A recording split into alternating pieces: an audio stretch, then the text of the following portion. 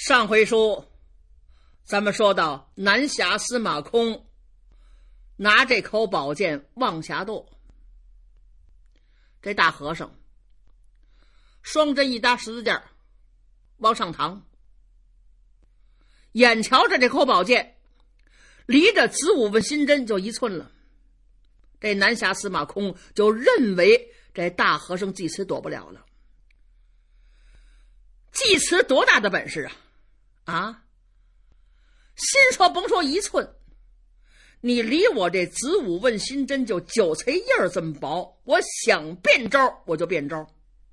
这把式匠啊，就是这么眨巴眼的功夫，能看出高低，能见出输赢来，都是刀枪棍棒，能有什么了不起的？哎，您看这里边份儿就大了。祭慈他能不知道南侠的宝剑是巨缺剑吗？就是重钢的剑一接，接这口宝剑，也照样让这口宝剑给弄折了。甭说自己这针了，重钢的又怎么样啊？接这宝剑接得了吗？大和尚左腿弓，右腿绷，等南侠的剑到了，一看这大和尚不躲，歘，这宝剑可就实了。大和尚祭慈猛地一低头，变成右腿绷，左腿弓，照着南下的小肚子，歘，这针就扎过来了。可把南下司马空吓坏了。吴良佛，好厉害的凶僧！南侠就是脚尖一点地，噌的一下，横着就出去了，来了个鲤鱼跳龙门。南侠往外这么一纵，祭慈就把双针收回来了。弥陀佛，仙长请！就这一下，把南侠司马空给气晕了。北侠秋田秋佩宇可在台下看着呢。自己当年跟南侠在杭州擂上交过手，北侠秋田知道南侠秉性急躁，太自信。北侠心说：“就你那招。”你当成实招使，你以为祭慈什么都不会呢？你上当了，人家可没上当。祭慈脸上没带出来，依然是笑容可掬。县长，请吧。无量佛，请。南侠司马空二次纵身，健步如飞，和尚百双针，急驾相还。一僧一道，两个人就打成一团了。僧袍跟道袍一齐兜起风来，就如同穿花的蝴蝶围绕在一起。转眼之间，这两个人打了四十多个回合。大家再一看，南侠司马空不敢进招了，只能招架了。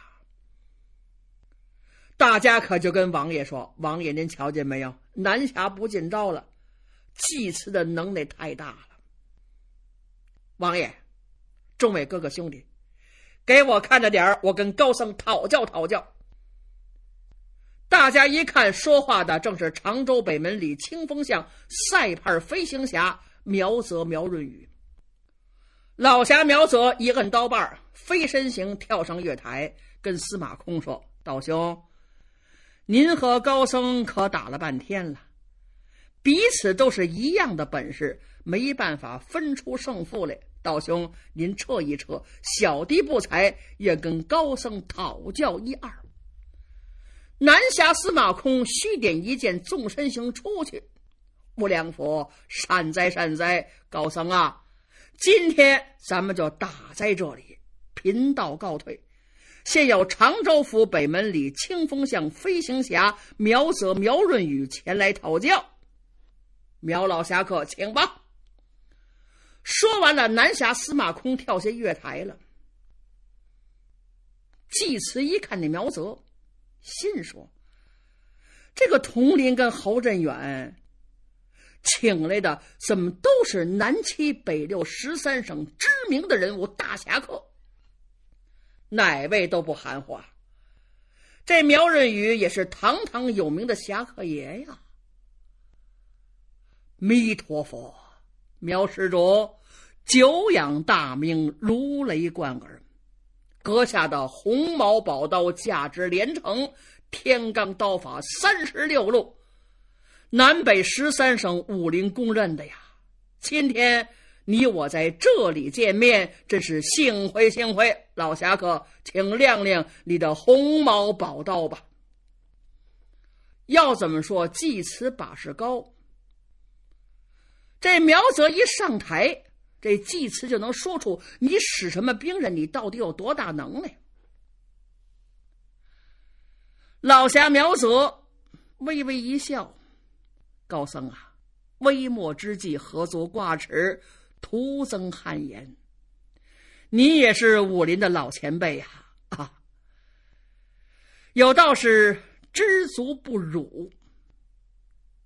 老高僧，您想过没有？”你我都是这么大年纪的人了，在江湖上略有威名。要是一定凭自己的能耐把对方战败了，我看也不是一件容易的事。高僧啊，我听说您也说过，红花白藕青莲叶三教原来是一家，咱们可都是武林的弟子啊。也都在上三门的门户之中，何必为了一己私见，争个长短，论个输赢呢？您说我这话对还是不对呢？大和尚祭词啊了一声。其实祭词听完苗老侠的话，他挺佩服苗老侠的见解。只不过现在祭慈和尚是骑虎难下呀！老和尚双掌合十，苗老侠，谢谢您。您这话可说晚了点应该在没动手以前就提出来，因为您也是老前辈。您的金石良言，我祭慈一定能够听。可现在晚了，不成了。你也亲自眼见我师弟被打，而且月台之上已然出了人命了。我下帖子请来不少的宾朋，在月台上已然死了几位了。在这个时候，我要听您的良言相劝，急流勇退，悬崖勒马。苗老侠呀，人家绿林道的朋友。拿我祭慈当成什么人看待呀？没办法，这话您说晚了点，对不起，请您亮出军刃，你我一战。好，苗泽苗润宇也听明白了。高僧既然如此，苗泽奉陪。苗老侠一摘刀鞘，两道崩黄一顶，嚓啷啷，龙吟虎啸之声，金科金呐！苗老侠把刀鞘一放，红毛宝刀掌中一擎。大和尚一看，这口刀四尺开外，一巴掌半宽的刀身，背钩一指，刃钩一丝，吹毛可过，锐锋双快。这口刀，好家伙，要是杀人，就跟闪电一样啊！两个人都往后一撤步。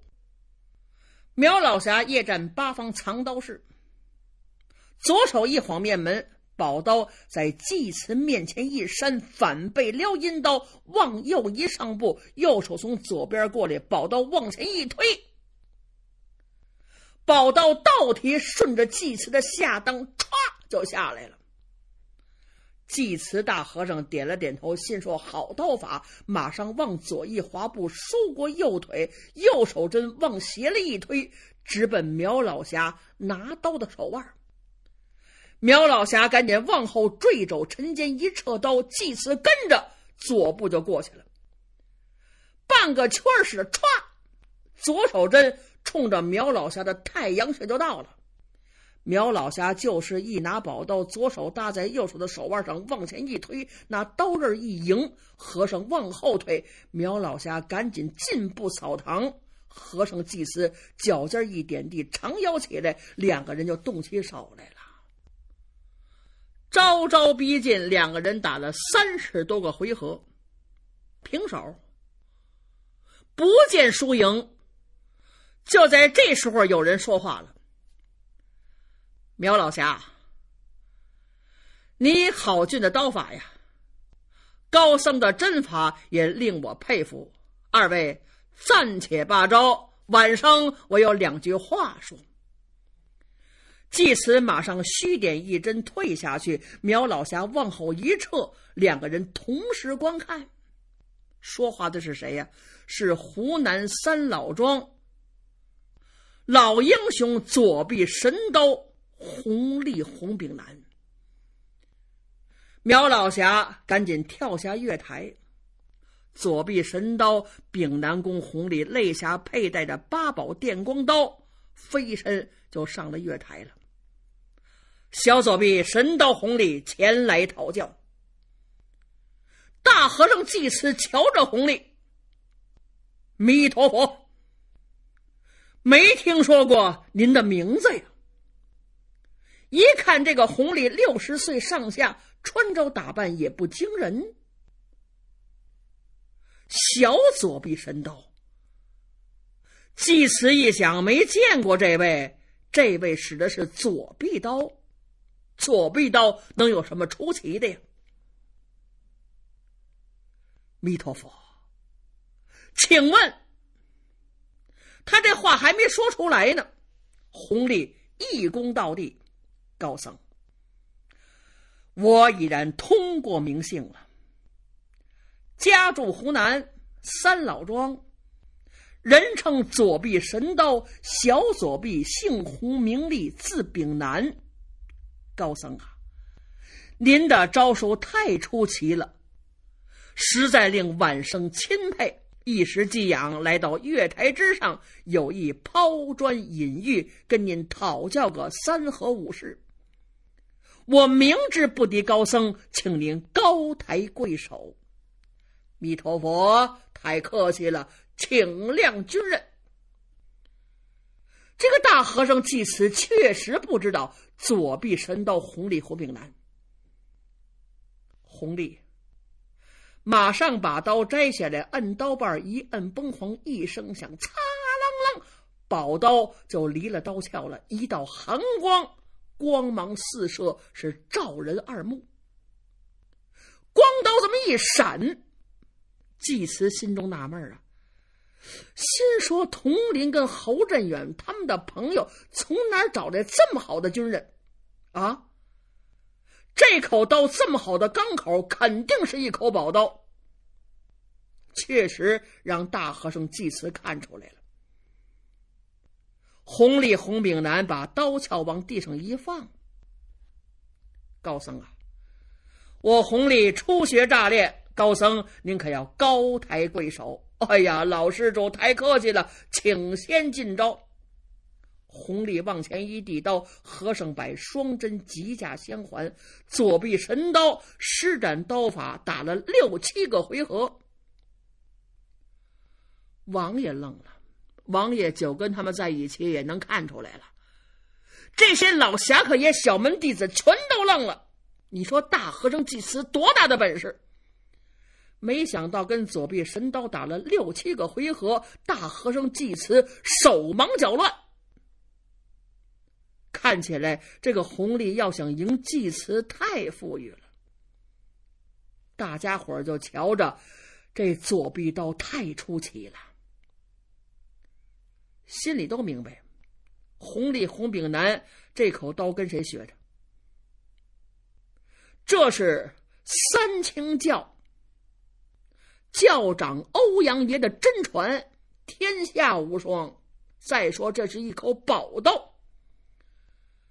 祭慈真是只有招架之功，没有还手之力，进不去招了。大家伙心说：这回可把祭慈赢了。没想到红力红炳南虚晃一招，纵身形出去了。高僧，承让承让，我跟您告假了。低头哈腰，捡起刀鞘，转身行下月台，宝刀入鞘。别人不敢说话，说过来问：“哎，左臂神道，你真行？你能把大和尚赢了，为什么不赢？都是侠客爷，谁能问呢？王爷看出来了，王爷也不好直说。王爷走到红泥面前，老英雄，好本事，好本事。下边的话挤了半天，王爷还是没问出来。这是海川呢，王爷当然就问了。大家伙奇怪，那么红丽红炳南这么好的本事，为什么不赢这大和尚济慈？您瞧，一个人一人性。书中暗表，红丽红炳南这个人不求名不求利，他不树敌，在这种情况下不能不上去。大和尚济慈心里服，这人的功夫太高了，左臂神刀果然不假。手捧双针，弥陀佛，这位施主刀法独出一门，胜过贫僧万倍。您瞧这祭词，该谦虚的时候照样谦虚。按理说呢，我就应该知难而退，不再动手了。没办法呀，贫僧我是铁山寺的主人，今天的事儿还没完呢，所以我厚颜无耻，还要陪。诸位施主走上几何？哪位上来？贫僧奉陪。月台底下有人说话了：“高僧好功夫，朕令一下钦佩。”噌，上了一位。大和尚济慈一看，气坏了：“好你个吃里扒外的呀！我给你下的请帖，你倒跑那边去了。”上月台的正是白马河甘家谱画的无形隐逸侠甘与甘凤池，在甘凤池左肋下挎着一长条的包袱。祭慈冲他一笑：“老侠客，今天也要跟贫僧我动手吗？”高僧啊，我不是跟您动手来的。我在白马河破土动工盖房的时候，挖出一队军人来。我查遍了兵刃谱，没有这种军人；访了多少高人，也没有知道这对军人的。当然，我访的这些高人比您可就差远了。高僧，您博学多识，您身为铁山寺的一门之长，您一定知道这军人叫什么名字。我拿出来，请高僧告诉告诉我。哼，祭慈心说。甘凤池啊，你不动手打我，拿一个兵刃到月台上撅我。刚才红丽红炳南用刀撅我，这回你又拿一对兵刃来撅我。到月台之上，你问我，我能说不说吗？武林当中，光靠打可不行啊，儒将。也要学习文学，读兵书，看战策，能讲出各种兵刃的名字、各种兵刃的来历和年代。大和尚济慈心里有气，月台之上，你拿兵刃撅我。但是大和尚济慈不能这么说，只能一笑。好啊，甘老侠，请拿出来吧。贫僧我不见得认识，我要开开眼界就行了。好。甘老侠一伸手，把包袱拽下来，把麻花扣解开了，把这包袱皮打开，往腰里一围，把军人双手一托。大和尚济慈两只眼都看呆了。月台下东边的侠客，西边的剑客，包括西方侠于城、于东海，全都看直了，没瞧见过这种兵人。甘凤池手里拿这对兵刃，二尺四寸长，好像一支小宝剑，但是呢，在把上有个阔手的峨眉枝子，像个大月牙子，两根立柱。这剑把上缠着带子，你得用手呢拿这兵刃，这月牙呢刚好扩着这四个手指，月牙冲上，再往前是宝剑，宝剑有尖儿，还有刃儿。就在宝剑尖下三寸的地方，有个如意钩，往里弯着，非常的锋利。这俩兵刃是一对儿，瓣上镶珠嵌宝，光华灿烂。甘凤池拖着这对兵刃，高僧啊，请您赐教，这对兵刃叫什么名字？弥陀佛。大和尚祭词说到“弥陀佛”这儿，他当时就绷住了。高僧啊，请您指点。他祭词这人非常聪明，他灵机一动，他看见宝剑上这个钩了。哦，大和尚明白了，老侠客这军人叫钩。哈哈哈，罢了。我这军人叫钩，好，请问高僧，此钩出自哪年？叫什么名字？甘老侠这么一问，季慈心说：“这回你可就难不倒我了。”甘大侠呀，您手中这对军刃出自吴越春秋。想当初吴国越国交战。结果越王勾践打了败仗，受制于吴国。范蠡大夫保驾前往，在吴国，越王勾践尝了吴王的粪便，被放回越国之后，越王勾践十年生惧，十年教训，卧薪尝胆，一定要报亡国之仇。所以他选来天下的勾氏来到越都，希望他们打造出很多很好的军人来，将来好去攻打吴国。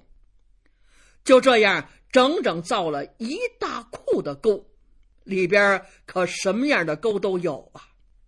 就在这时候，一位老钩师来了，跪在越王勾践的面前：“大王啊，臣前来领赏。”越王勾践就问他：“你领什么赏？”大王啊，微臣我献给大王一对钩，这两只钩是采五金之铁精、六合之金英锻造而成。但是这对钩锻炼是经久不化呀。我今天来跟您请功，是因为这对钩太特别了。那么这对钩到底特别在什么地方？咱们下回再说。